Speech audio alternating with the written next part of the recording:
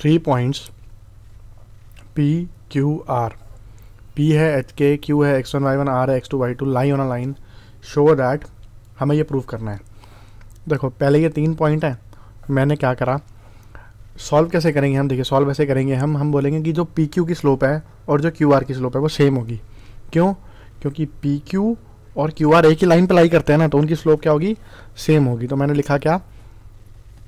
Slope Q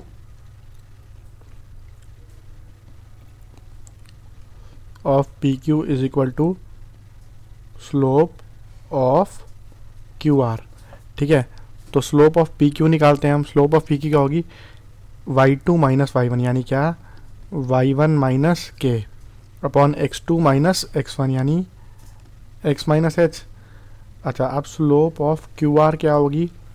ये हो जाएगी Y two minus Y one upon X two minus X one ठीक है?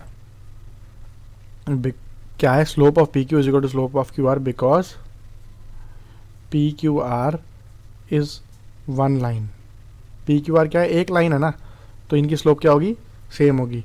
या फिर लिख दो because P Q and Q R are collinear अब slope of P Q Y one minus K upon X minus H is equal to Y two minus Y one और X two minus X one इनको cross multiply कर दीजिए आप।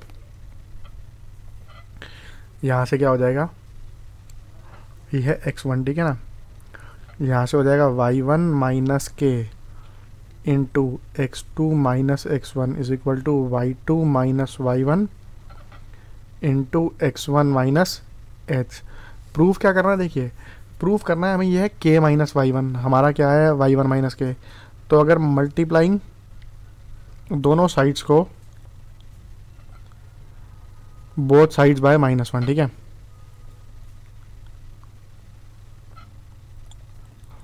दोनों sides को अगर मैं माइनस वन से मल्टीप्लाई करूँगा तो क्या होगा?